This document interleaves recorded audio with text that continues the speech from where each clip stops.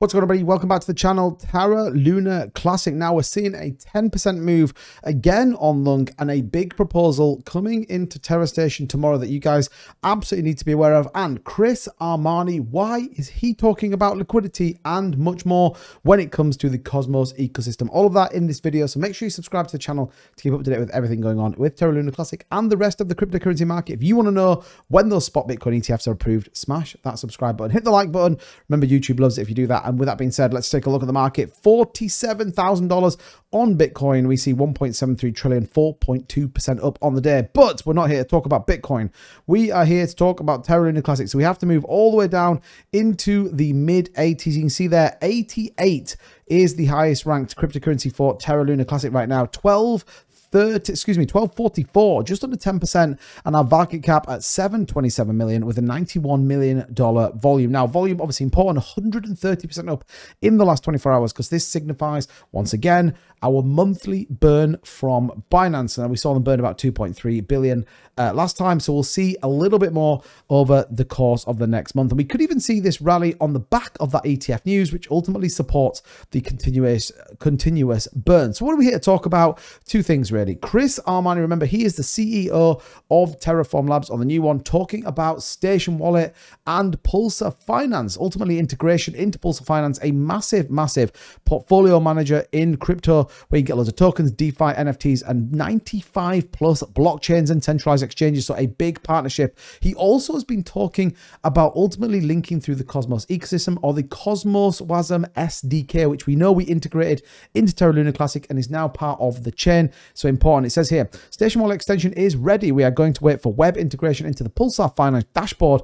But if the post below gets 500 retweets, we will release the extension Tuesday and follow it in a couple of weeks with an updated web app with the dashboard. Now, we would expect Terra Luna Classic to be supported within that, given what they talked about and ultimately the ambition to bring everything back together, particularly in the Cosmos ecosystem. Obviously, this is just marginally short, 466. I'm going to do my bit and hit the retweet on there. So we ultimately support that 500. Bear in mind, it's only been out now for a couple of days, so I'd expect this to hit that. We'll see how that all pans out, but I think really good to see that we are building, whether it be Luna, Luna Classic, Cosmos, whatever it is, good to see that Chris Amani making a statement, doing things right, and ultimately trying to drive the Luna ecosystem, which ultimately we already know will support Terra Luna Classic. Now, right now, you may notice we don't have any proposals. We do have the EVM proposal. I talked about that in a couple of videos ago, talking about this.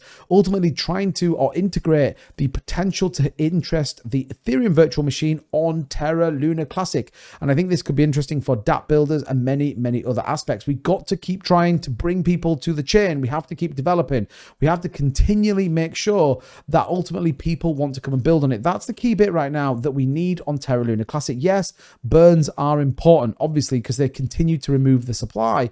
But at the same time, we do need people to come and build off. Now, remember, I talked a little bit about this value locked up on the chain, 3.42 million. So unfortunately is in a marginal decline. Astroport, TerraSwap, as well as Stride. But I am seeing more people look to Terraport, look to kind of build on the Terra Luna Classic ecosystem, even if that is the smaller parts, even if those are NFT projects or DeFi projects that we have already on the chain or that are supporting Terra Luna Classic, then they are going to build on it. Ultimately brings value and awareness to the chain, and that can only be a good thing in my view. Now, a couple of other bits to be mindful of. We are still awaiting the payment for that work to happen on the chain. We'll see how that plays out. Remember, 16K to come out of our community pool as we therefore see a further build. So there's going to be a couple of interesting proposals. Remember, be sensible though. If this isn't about throwing all our money away. Again, the community pool and equally USTC and LUNC looks pretty healthy in there. Has to be sensible how we use it. Remember, pay by job model now implemented. So we'll see how this goes. This will be that first paid work on the chain since this new model looked. You can see four months ago, the USTC stable uh, Algo Quant team didn't really deliver on what we expected since then. Obviously, the L1 team just been working in the background. So we'll see how this plays out. Could be an interesting move. Is it going to move the price? The answer probably is no. However, is it going to build and enhance the chain? Quite possibly. And I think that has to be a important factor. In terms of what's going on, we continue to see people staking. Good news, locking those those tokens, removing them some supply, and ultimately showing their support for the Luna Classic ecosystem. I think it's important. We have to keep an eye on this value. It is and will be always important to see kind of where people's sentiment sits fundamentally with Terra Luna Classic. I think it's important. So the price, what do we got going on? 10.4%, actually outperforming most assets right now over the BSV, which is on a move, and also ICP. But you can see this nice big move up from this low here at the 10765 the other day. Nice little push up. Now, testing the north part of the Bollinger Band as this volatility does increase, but expect a potential further move. I think if we get the Bitcoin ETFs, which are about 48 hours away,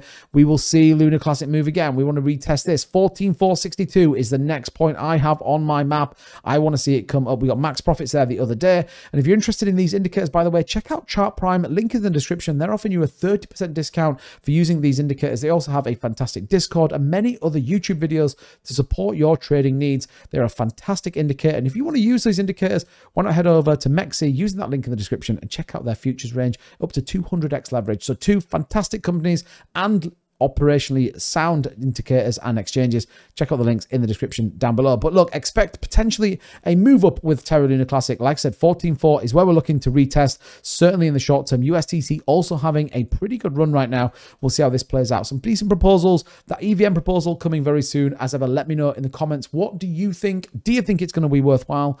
or not. I'm always interested to get your views on everything Terra Luna Classic. If you want to see more content like this, smash that like button, subscribe for new things, I'll see you guys in the next one. Bye bye.